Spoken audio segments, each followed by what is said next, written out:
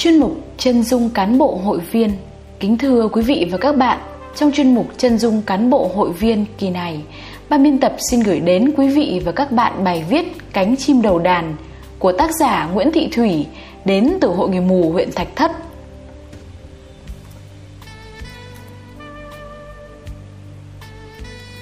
Nhớ lời dạy của bác Hồ tàn nhưng không phế, Vì mang trong mình một trái tim ấm áp đầy tình yêu thương.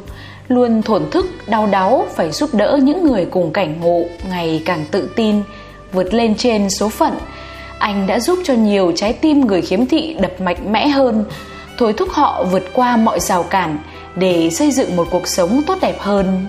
Trong cuộc sống hàng ngày Tôi đã nghe rất nhiều các tấm gương về người tốt, việc tốt như em học sinh không ngại nguy hiểm nhảy xuống dòng nước xiết cứu người chết đuối anh lính cứu hỏa lao mình vào biển lửa, cố gắng giành giật sự sống cho những người trong đám cháy. Cô bán ve chai nhặt được một khoản tiền lớn mà cả đời bán ve chai của cô chưa chắc đã kiếm được, nhưng đã trả lại người bị mất không chút do dự. Hay bà lão nông dân hàng ngày dạy bơi miễn phí cho trẻ em nghèo. Tất cả những tấm gương ấy khiến tôi vô cùng cảm phục tôi cứ nghĩ những tấm gương ấy chỉ có ở đâu đó rất xa xôi. Cho đến khi tôi gặp anh, đã làm tôi thay đổi suy nghĩ. Từ khi tham gia hội người mù huyện thạch thất, đặc biệt khi tham gia vào ủy viên ban chấp hành hội người mù huyện. Tôi có dịp được trao đổi, trò chuyện với anh. Người tôi đang nói đến chính là anh nguyễn minh đức, chủ tịch hội người mù huyện thạch thất. Chắc hẳn ai cũng đã từng nghe tới câu nói của cổ nhân xưa, giàu hai con mắt, khó đôi bàn tay. Tuy nhiên, đối với anh nguyễn minh đức, chủ tịch hội người mù huyện thạch thất, không còn thị lực, không đồng nghĩa với việc mọi cánh cửa của tương lai sẽ khép lại. Anh được mọi người dành tình cảm, yêu mến và nề phục bởi có một tinh thần lạc quan, không đầu hàng trước số phận nỗ lực trở thành chỗ dựa tinh thần vững chắc cho những người cùng cảnh ngộ, hòa nhập với cộng đồng. Nhớ lời dạy của bác hồ tàn nhưng không phế, vì mang trong mình một trái tim ấm áp đầy tình yêu thương. Luôn thổn thức, đau đáu phải giúp đỡ những người cùng cảnh ngộ. Ngày càng tự tin, vượt lên trên số phận, anh đã giúp cho nhiều trái tim người khiếm thị trong huyện thạch thất đập mạnh mẽ hơn. Thôi thúc họ vượt qua mọi rào cản để xây dựng một cuộc sống tốt đẹp hơn. Chính vì thế, trong tôi, anh như một cánh chim đầu đàn, luôn là người đầu sóng ngọn gió, lo lắng, chăm lo, nâng đỡ cho hội viên của mình. Anh đức sinh ra trong một gia đình có bố làm giáo viên. Anh là một người mù bẩm sinh, tuy không được may mắn nhìn thấy ánh sáng, nhưng trong anh luôn có một khát khao đó là trí thức. Vì là nhà giáo bố anh luôn nhắc nhở các con của mình học không phải là con đường duy nhất, nhưng chính là con đường ngắn nhất để thành nhân, thành công. Chỉ có khi các con có thể tự lo cho mình, các con mới có thể lo cho người khác được. Khắc sâu lời dạy của bố, trong tiềm thức, anh luôn nỗ lực chinh phục tri thức theo cách riêng của người khiếm thị. Số phận lấy đi của anh đôi mắt, nhưng lại cho anh một trí nhớ tuyệt vời. Chính vì thế mà mọi cố gắng nỗ lực của anh đều thu được trái ngọt. Năm 2008, được sự quan tâm, tin tưởng và tín nhiệm cao của cán bộ Hội Người Mù huyện Thạch Thất, anh đã tham gia vào tổ chức hội và giữ chức danh Phó Chủ tịch Hội Người Mù huyện Thạch Thất. Đặc biệt, năm 2023, tại Đại hội Hội Người Mù huyện Thạch Thất lần thứ 13, nhiệm kỳ 2023-2028, anh chính thức được bầu giữ chức chủ tịch hội người mù huyện.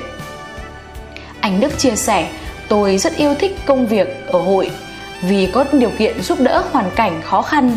Từ khi tham gia vào hội người mù huyện Thạch Thất, tôi nhận ra đây là nơi mình có thể phát huy khả năng cuộc sống ngày càng có ý nghĩa hơn.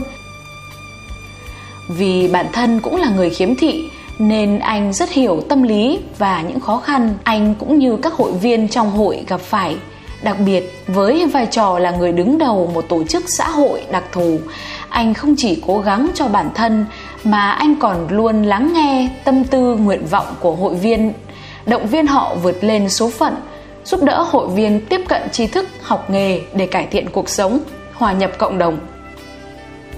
Câu nói giàu hai con mắt, chúng tôi là những người khiếm thị. Chính vì phần khuyết thiếu này nên khó có thể sống, sinh hoạt và lao động sản xuất như những người bình thường khác. Thế nhưng trong những buổi sinh hoạt ở hội, anh luôn nhắc nhở hội viên, đặc biệt là những hội viên trẻ khả năng con người là vô hạn hãy vươn lên khẳng định mình đừng mãi sống trong bóng tối cả nghĩa đen lẫn nghĩa bóng không nên ỉ lại vào sự hỗ trợ của người khác không để bản thân bị lãng quên trong bóng tối. Anh cũng chia sẻ giúp đỡ hội viên có việc làm nâng cao mức sống là mục tiêu kiên quyết và cũng là nhiệm vụ quan trọng nhất của hội. Chính vì vậy bằng những biện pháp khác nhau anh đã giúp đỡ nhiều hội viên có nguồn thu nhập ổn định xóa đói giảm nghèo. Anh duy trì cơ sở sản xuất bán tập trung và tập trung với mặt hàng chính là tam giang, chổi chít mang thương hiệu riêng của hội. Chỉ tính riêng trong năm 2023 đã sản xuất và tiêu thụ được 12 vạn gói tam giang, trên 510 chiếc chổi các loại đã đạt doanh thu ước tính đạt 315 triệu 300 ngàn và công lao động người cao nhất đạt 3 triệu 500 ngàn trên tháng lương thấp nhất là 2 triệu 500 ngàn trên tháng. Anh cũng tạo điều kiện cho hội viên tham gia các chương trình vay vốn với lãi suất thấp theo chương trình của hội.